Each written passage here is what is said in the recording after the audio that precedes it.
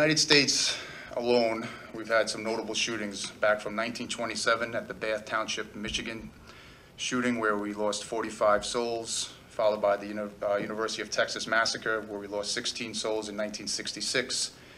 Columbine in 1999 where we lost 15 souls. The Virginia Tech massacre, 33 souls lost, and the Connecticut shooting where we lost 26.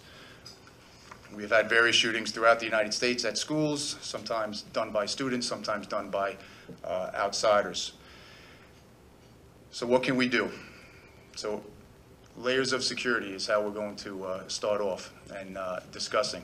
This is very important, having layers of security. If you just have one lock on your door or one security officer at your front entrance, you're not doing enough for your school or for your facility.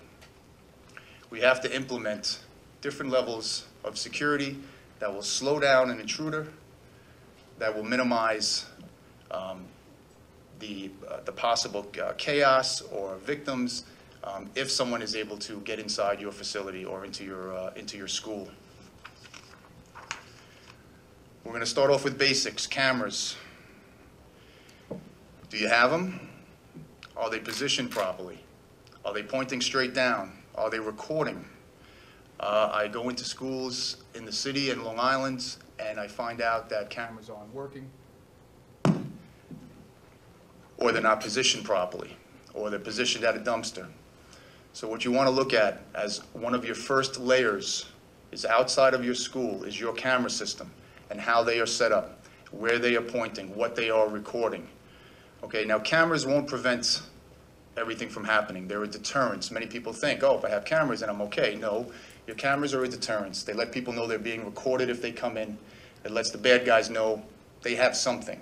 Doesn't mean it's going to stop them from coming there, but it's, a, it's one of the layers that you should have, and that's what's very, very important. Taking the time out to make sure that these cameras are in place, in position, being recorded, can be remotely viewed, whether it's by key staff members in, in an office, or if you're not in the uh, school, that it can be, um, it can be viewed somewhere else on an iPad, on an iPhone. Continuing with your exterior perimeter security, fencing. Schools in Manhattan, some schools have fencing. Just did an assessment where we had uh, fencing on a school in Manhattan. More so you have, uh, you have that on Long Island.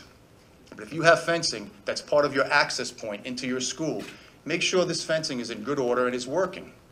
Uh, What I would stro- strongly recommend is to have an access control system that will be part of your main entrance doors, your uh, entrance into your, uh, through your fence, and make sure that it is operating uh, properly um, and that it's, and that it's checked. Again, it's one of the layers that you can put into place that will help you in addition to your cameras.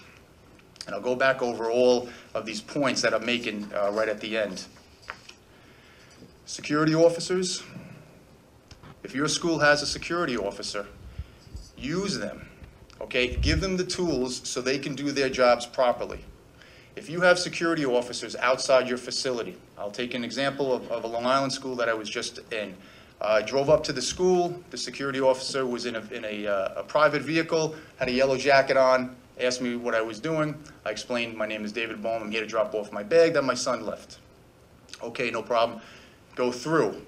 Now, great, you know, the security officer stopped me, told me what I was supposed to do. That security officer should have a list of all the parents, students, and take those extra 30 seconds and say, hang on one second, Mr. Bohm, let me check, okay? I went back to that security officer afterwards and I spoke to him. And basically, this is what he was, what he told me, he said, this is what I was told to do. This is what I was given. All right, so he's doing his job to the best that he can based on the information that he's, he's given.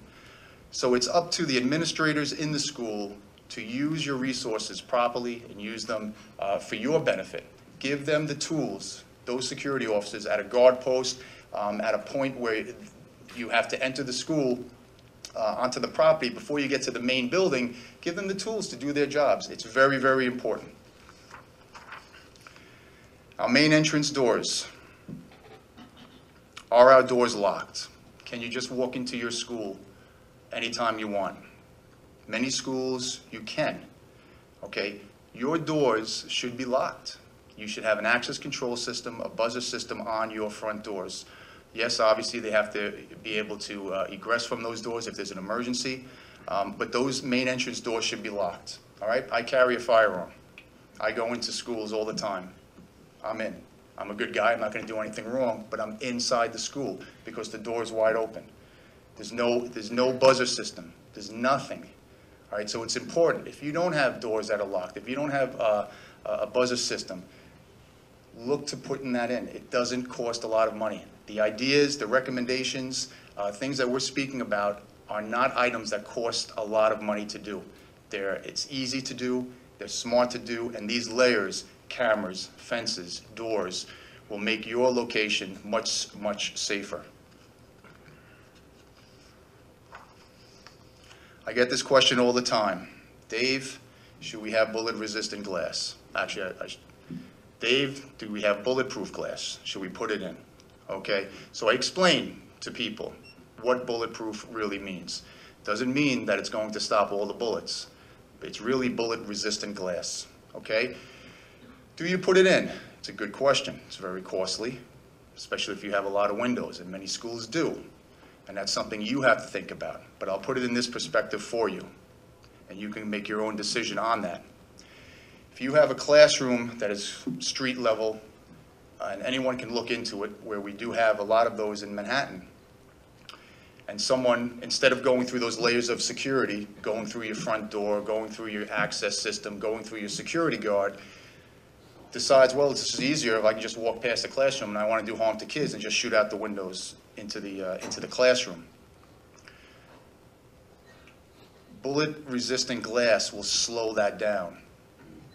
Eventually, it'll break and bullets will go in, but it will slow, it will slow it down for a couple of shots. Those few seconds might give enough time for that classroom to get out, to evacuate, to go to a different location, for someone to set the alarm and bells off so help can, uh, can come. So you have to think to yourself, what, what bulletproof glass will do for you, bullet-resistant glass will do for you, and is it worth saving a few seconds because it may keep someone alive or keep a child alive? My opinion is yes, but that is an opinion that not everyone carries based on budgets, on what you can do. But it can be a capital improvement project that you do uh, as years go on. Uh, But it's something to think about and understand what uh, bullet-resistant glass provides. Communication at the door. I go to a school, I wave, the person in the lobby looks at me, hits the buzzer. Ah, I'm in the, I'm inside. No communication, no questioning. How can I help you? Who are you? Uh, what are you here for? Um, and I'm not speaking about high traffic times when we have uh, 50 kids, 300 kids, 600 kids coming into school. I'm talking about after we have our high traffic times and kids are in their classrooms, that the schools should be going, should be locking down their perimeter doors. And, and these procedures should be put in place. We shouldn't let anybody just walk into our school. And this happens and is still happening after the Sandy Hook shooting. Uh, and I'm sad to say it's happened in my school district, uh, which really upsets me because I have two children uh, that go to uh, um, middle, middle school, and I can just walk into their school at any time. And yes, there's a receptionist there, um, and uh, he or she is very nice and very helpful, but what are they going to do once you're inside the heart of the school? Access control systems I was speaking about regarding your fence and your main doors. Access control systems can be very helpful. Um, You can have staff, wor- uh, your workers, all have cards to access into your building. Your doors are locked, you don't have to waste staff time on someone opening the door for your staff to come in and out. Um, It can also be given to parents or guardians, depending on the size of your school, depending if that's what you want to do. But access control is very helpful, it's not expensive, it's very easy to uh, give someone a card and take that card away. Uh, You have an employee, a staff teacher, that- uh, staff or teacher that may have gotten fired, um, you can uh, deny the access. You have a parent who's now going through a a custody battle, uh, order of protection is given, now you can deny access.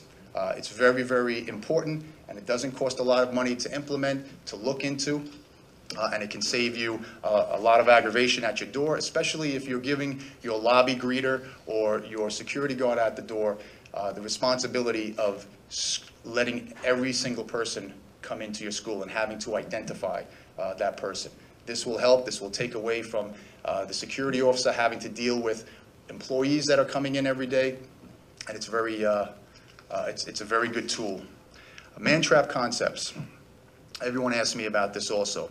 Can we have a man-trap concept? And if I have a, if I have a man-trap in my school, and I got 500 kids coming into my school, how can it work? Okay, well, let's explain what uh, a man-trap concept is, as you can see on the screen, just so you know. You go from a public area, you access one door, that door has to close, you're in the middle, the second door will not open until the, uh, the door behind you closes. You can get out at any time if there's an emergency, uh, but that's the man-trap concept.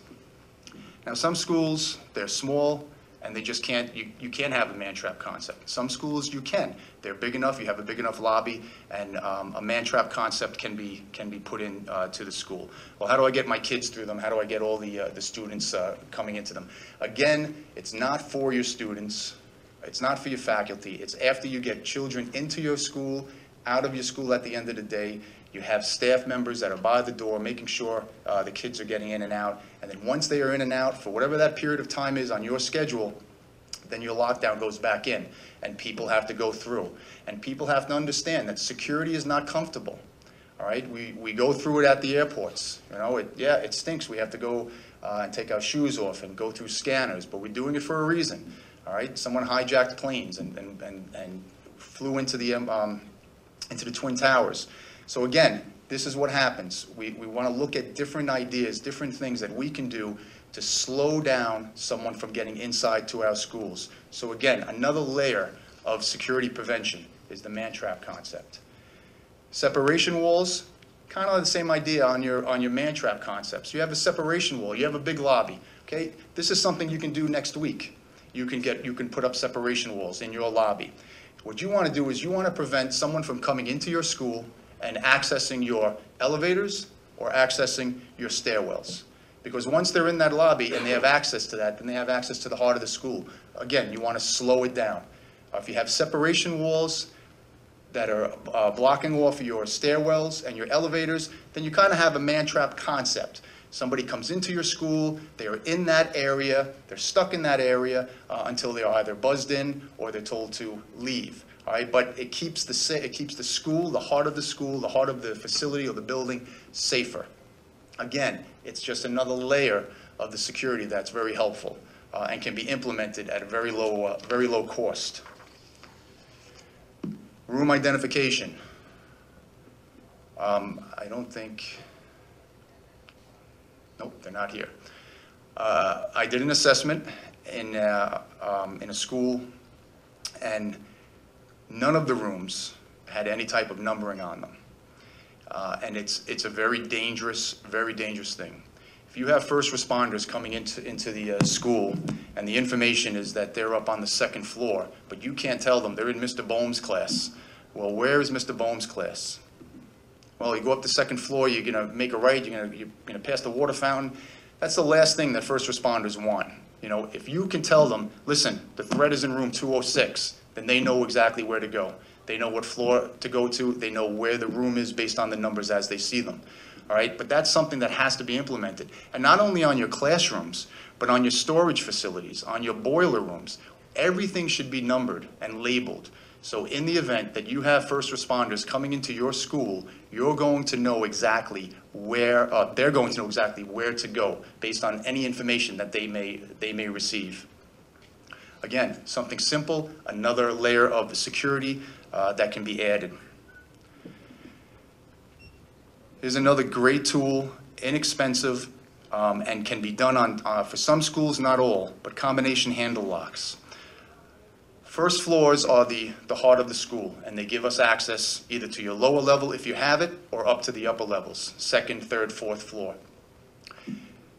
The stairwell uh, doors, you want to secure them, and one way to secure them is by combination handle locks. Those combinations can be given to key, uh, to staff members so they can move in and out through the, uh, through the school. Now, if you have a stairwell that is 10 feet wide and you're in a high school or you're in a middle school, um, they ha- actually have uh, gates that can be um, uh, built to fit your stairwell.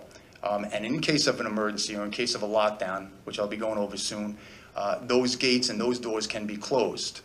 Um, Again, separation walls would be better because you'll have, uh, you'll be blocking an area to get to um, the stairwells. But if you can add combination locks, if your school is uh, not a very large school, or there isn't, there's not a lot of activity where the kids are going through the stairwells from the first floor, combination handle locks are very, a very, very good tool and an excellent layer, again, of security in connection with your separation walls, with your access system, with your fences, with your cameras. It's very, very important. The person in your lobby, whether it's security or your greeter, has to have a tool other than a, a telephone at the desk.